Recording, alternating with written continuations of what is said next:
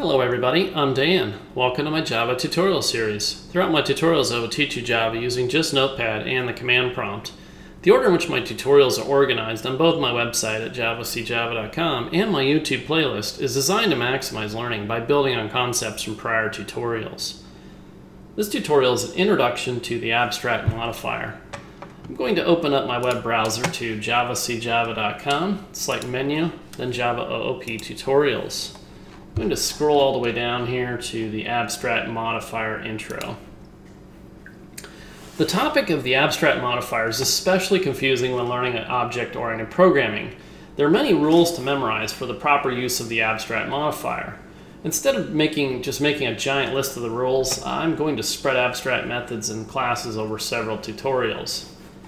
I'm going to quickly introduce you to the concept of ISA and HASA. They literally mean ISA and HASA, and they will simplify your life. Let's play a little game where you compare the relationship of two objects by placing ISA and HASA between them, and you pick the combination that sounds right. Airplane is a flying machine. Yes. Airplane has a flying machine. No. Helicopter is a flying machine. Yes. Helicopter has a flying machine. No. Glider is a flying machine? Yes. Glider has a flying machine? No. Boeing 787 is an airplane? Yes. Boeing 787 has an airplane? No. FA-18 fighter is an airplane? Yes. FA-18 fighter has an airplane? No. Cessna amphibian is an airplane? Yes. Cessna amphibian has an airplane? No.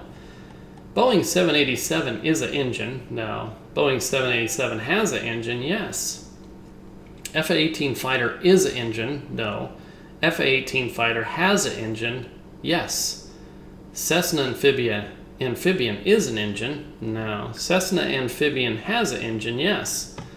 Glider is an engine? No. Glider has an engine? No. All right, you get the idea. And I was very repetitive on this because this, if you learn to think about this and just don't forget about it, you know, in the next few tutorials, this will kind of make your life a lot easier when you think about, especially inheritance there. So, but you get the idea. So the airplane, helicopter, and glider all have a ISA relationship with a flying machine. That makes the flying machine an ideal candidate to be a superclass. The Boeing 787, F-A-18 fighter, and the Cessna amphibian all have a ISA relationship with an airplane. That makes the airplane an ideal candidate to be a superclass. That also makes Boeing 787, F-18 fighter, and the Cessna amphibian ideal candidates to be subclasses. Let's think for a moment and make a small list of a few things that all airplanes have in common. Uh, they all have a model name, they all have a top speed, they all take off, and they all land. An airplane that doesn't take off or land is not much of an airplane. Uh, now based on our list, we need to ask ourselves a simple question for each list item. Is this the same for all types of airplanes?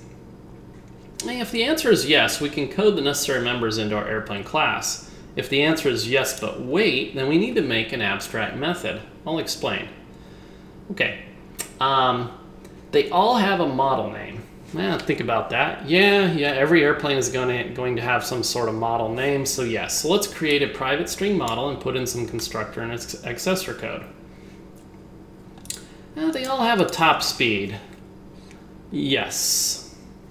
Yeah, uh, every airplane is going to have a top speed, so they definitely need to have a have some sort of forward motion in order to be able to fly there. So we'll go with yes on that, and they'll have a max speed. So we'll go ahead and create a private int top speed and put in some constructor and accessor code. Okay, they all take off. Let's think about it. airplanes. They definitely take off, but you know, but wait. Um, the Boeing 787, it takes off on a really long, you know, typically like commercial type runway at an airport, right? The F-18 fighter, it's like launched off an aircraft carrier like a slingshot. And the Cessna amphibian, it can uh, take off on water or land. So fundamentally, these guys all take off, but they do it in many different ways. So um, since airplanes can take off in many different ways, we need an abstract method. And I'll explain that in the code here. So now let's talk about they all land. Okay, That's a that's another yeah they all land that's that's a yes but wait now airplanes can land in many different ways so we need an abstract method same thing Boeing 787 needs a really long runway and FA-18 fighter is like caught by one of these cables on a little catcher thing on it when it lands on an aircraft carrier and the Cessna amphibian can land in a lake you know um, or or on land too so yeah they all land, but they're a little bit different there. There's some differences in how they can take off and how they can land, so we need to create abstract methods. So I'm ready to walk you through some code, and I will touch on a few rules, but keep in mind I'm saving all the rules for other tutorials. So let's go ahead and scroll down here to this source code here. Let's highlight it all. Control C to copy, or right click and select copy. I'm going to move my browser off screen here. I've got a shortcut to the command prompt on my desktop, but if you don't, you can create one really quick by right-clicking, selecting New Folder, not New Folder, New Shortcut. Let's delete that. New Short, boy, batting a thousand today. Who's in charge of this mouse? New Shortcut, CMD, next, and finish. Okay. So when we open up our command prompt, first thing we're gonna do is type in javac. You should see all this stuff scroll by. If you get an error message, watch my tutorial on installing the Java Development Kit. You wanna make sure you get that installed and configured properly before continuing. CLS to clear the screen. CD space backslash changes us down to the root directory. Um, I'm gonna make a directory called Java. I already have it, but if you don't, it'll create it for you. Change directories to the Java folder. I'm gonna make another directory, and I'm gonna call this one ab abstract intro. Change directories to the abstract intro folder, and I'm on notepad abstract intro.java. Abstract intro.java is the name of our source code file. It's going to contain many classes today. Okay, let's go ahead and do a Control V to paste or right click and select paste. Um, let's go ahead and save this up here. So what I've got here is I've got this class airplane. So what we just kind of sort of talked about there um, with asking the questions and then go ahead and coding it up there. Um, basically, you know, they all have a model name. The answer to that was yes. So I created a instance variable, private string model, good encapsulation right here. And I created some getter and setter accessor methods here for setting the model name and getting the model name. And I implemented uh, an overloaded constructor here with one of the parameters of model, and it'll go ahead and set the value of the instance variable to the same as the parameter being passed in. Then we asked ourselves another question. They all have top speed. The answer is yes. So we created, uh, I created this uh, instance variable top speed up here, marked it private for good encapsulation did my getter and my accessor methods here, my setter and getters, and um, then I also added a another parameter to the overloaded airplane constructor, which will set the instance variable top speed to whatever's passed in here. Okay, um, one more method I just stuck down in there, and that's just summary, and that'll display to the console the tops, the string literal, the top speed of a, and then plus the model name, and then is, and then plus top speed, okay? And then down here, we asked ourselves a question, can, well, they all take off, yes, but wait. Okay, so this is what an abstract method looks like. It has the abstract keyword, right? And then you'll have a typical method declaration, and where you would normally have your code body sitting in between some, some braces like this, you don't have anything. Now, what that tells us here is that you know we're we're we want airplane is going to be a sub a super class right so we're going to have all these subclasses down there and we know for sure that all of our subclasses will be able to inherit these these methods up here that we've actually have bodies for right but we don't know exactly how they're going to handle the takeoff or the land you know we've thought i've thought of three different types of airplanes that all take off and land um, you know different ways. So that's enough for me to say, okay, I, I I'm not going to put a whole bunch of takeoff code in here and then if this is a 787 or if it's a, you know, we don't want to do that. That would be terrible. So we create this abstract method right here. And the abstract method, basically we're telling any subclasses you have to create this method yourself, right?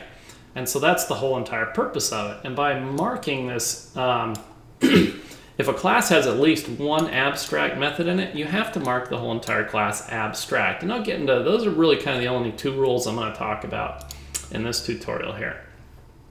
So let's come down here to the Boeing 787.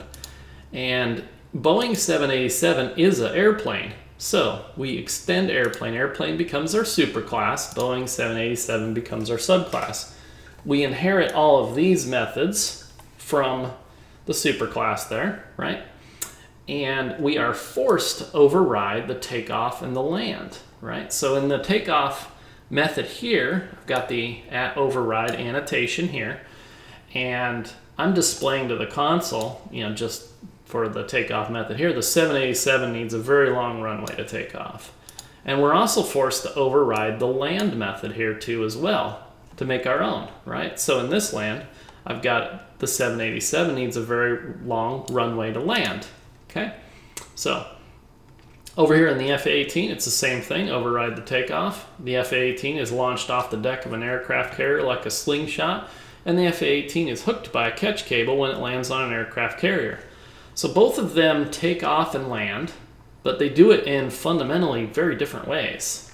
Same thing with the Cessna amphibian. The Cessna amphibian can take off from the water or runway. The Cessna amphibian can land in the water or a runway. Okay, so that is, um, that's basically the way that works there.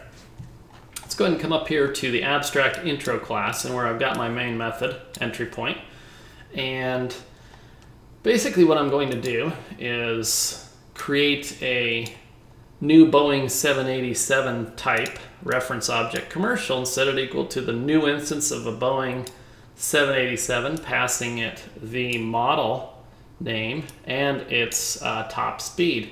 And then I'm just going to invoke the summary method, right, that we uh, inherited, right, by extending the airplane class there.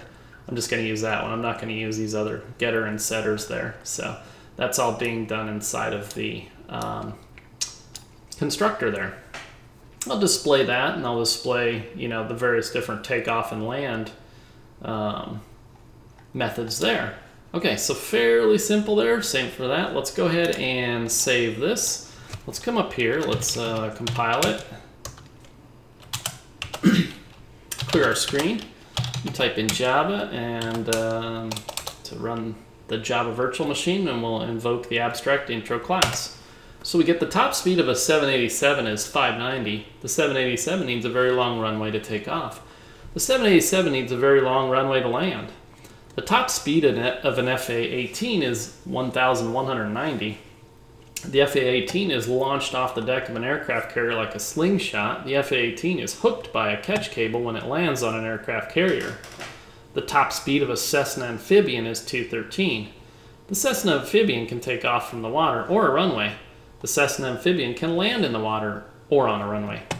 Okay, so that's basically exactly what we were expecting there. So, introducing uh, basically abstract methods here where subclasses of you know you're going to be making airplane a superclass. That's like its sole purpose in life is to is to be a superclass. You know that you want to force all your subclasses to go ahead and implement these methods here. All right, I'm going to go ahead and close out of this, close out of that, and leave you with some final thoughts.